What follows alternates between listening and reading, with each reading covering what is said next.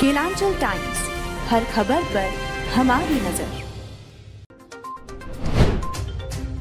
CM Hemant Soren को मुस्लिम संगठनों से जान का खतरा, अलर्ट मोड पर झारखंड पुलिस सुरक्षा की चाक चौबंद। झारखंड के मुख्यमंत्री हेमंत सोरेन ने आज, यानी बुधवार को, गिरिडीह के झंडा मैदान में आपकी योजना, आपकी सरकार, आपके द्वार कार्यक्रम की शुरुआत की। मुख्यमंत्री हेमंत सोरेन ने सभी उपायुक्तों को जन शिकायतों का त्वरित निपटारा करने का निर्देश दिया। उन्होंने कार्यक्रम के दौरान जनता से सीधा संवाद स्थापित कर उनकी शिकायतों तथा समस्याओं पर त्वरित कार्रवाई करने को कहा। साथ ही उन्होंने इस कार्यक्रम की जानकारी घर घर तक पहुँचाने के निर्देश दिए हैं। झारखंड के सबसे बड़े अस्पताल रिम्स समेत अन्य हॉस्पिटल का हाल बद से बदतर। झारखंड के सबसे बड़े सरकारी अस्पताल रिम्स में राज्य भर के गंभीर मरीजों को उपचार के लिए लाया जाता है। दिन रात मरीज़ भर्ती होते हैं, हालाँकि दुर्भाग्य ये है कि रात गहराते ही सीनियर डॉक्टर ड्यूटी से गायब हो जाते हैं। इमरजेंसी में कॉल करने पर भी उनकी आने की बात भगवान ही बता सकते हैं। किसी वार्ड में भर्ती मरीजों की ज़िम्मेदारी, वहाँ की नर्स के भरोसे तो किसी विभाग के मरीज़ की जान जूनियर डॉक्टरों के भरोसे रहता है। मरीज़ के परिजन डॉक्टर की खोज में इधर उधर भागते रहते हैं। यह हाल वार्ड की ही नहीं, रिम्स के इमरजेंसी व ट्रामा सेंटर तक में सीनियर डॉक्टरों का दर्शन मुश्किल होता है। हालाँकि सीएमओ अपनी ड्यूटी करते ज़रूर नज़र आए। बिहार के युवक की रांची में पत्थर से कुचलकर हत्या, जाँच में जुटी पुलिस।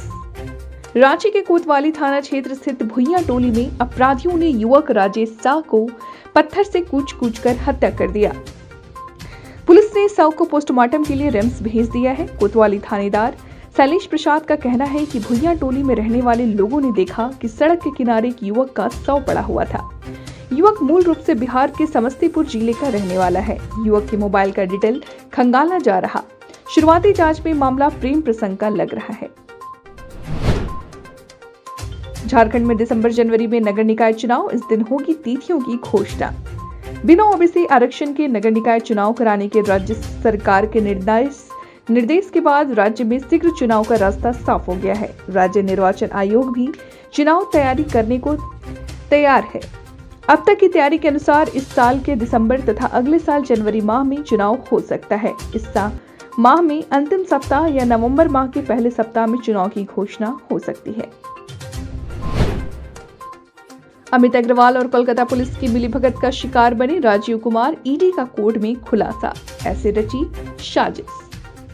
कारोबारी अमित अग्रवाल को लेकर ईडी ने नया खुलासा किया है। उनके इसके अनुसार अमित अग्रवाल ने मनी लॉन्ड्रिंग और अवैध खनन की जाँच सीबीआई व ईडी से कराने से जुड़ी हाईकोर्ट में दायर याचिका को प्रभावित कर जाँच रोकने की साजिश रची थी।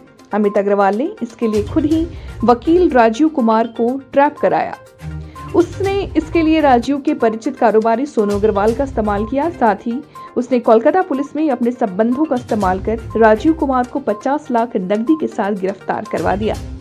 ईडी ने रांची के पीएमएलए कोर्ट को दी गई जानकारी में बताया कि कारोबारी अमित अग्रवाल ने कोलकाता पुलिस में अपने संबंधों का इस्तेमाल कर वैसी जगह एफआईआर दर्ज कराई, जहाँ न तो उसका आवास है, न ही कोई दफ्तर। अरे ये कब भैया, ऐसे वीडियो देखे जा रहे हो। सब्सक्राइब कर लो, और हाँ घंटा का बटन ज़रूर दबाना, तब हमारे वीडियो का नोटिफिकेशन सबसे पहले मिलेगा। यहाँ वहाँ का देखा तो हम तो का ही कहते हैं जल्दी दबाओ।